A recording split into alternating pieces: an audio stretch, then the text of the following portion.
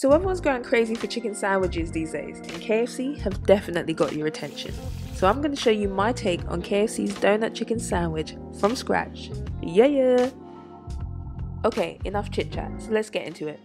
Let's start with the wet batter. Add 165ml of carbonated water, 1.5 egg, half a cup of flour, half teaspoon of garlic pepper, half teaspoon of salt, and whisk whisk whisk together. For the seasoning mix, you need to add 2 cups of flour, half teaspoon of salt, half teaspoon of garlic powder. Uh, you get the message. I'll just list them all here for you.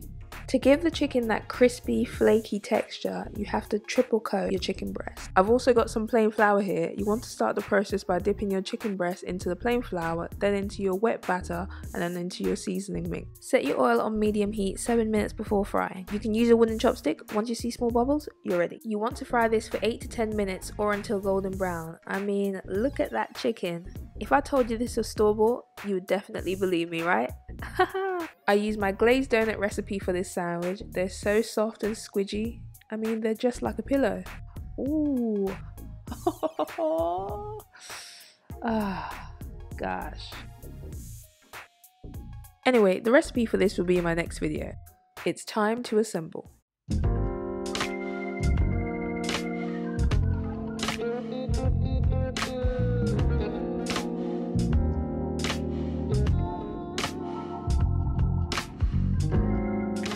Sandwich is sweet and savory and definitely not for the faint-hearted.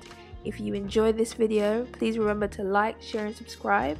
And if you try the recipe, please comment down below and tell me how it went. And I'll see you next time.